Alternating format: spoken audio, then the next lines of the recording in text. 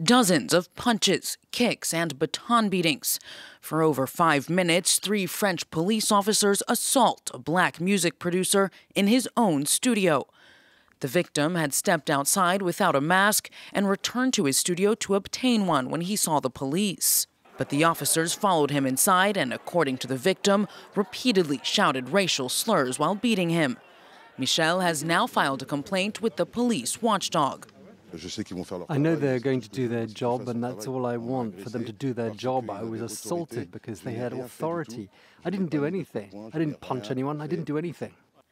Michel, who never appears to resist arrest, struggles with the police for nearly 20 minutes in total. Though he was originally arrested for violence against public servants, after the video and photos of his injuries emerged, the charges were dropped and replaced by an investigation into the officers. The French Interior Minister described the images as extremely shocking. I've asked for the officer's suspension, and as soon as the justice system sheds light on what happened, I'll request that these officers be fired. They sullied the uniform of the Republic. This is the third investigation into police violence in less than a week.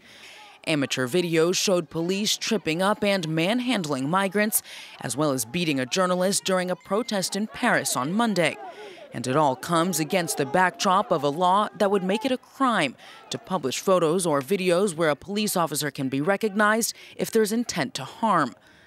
Though the law was validated by France's lower house of parliament, in the wake of recent events, Prime Minister Jean Castex has created a commission tasked with rewriting the controversial text.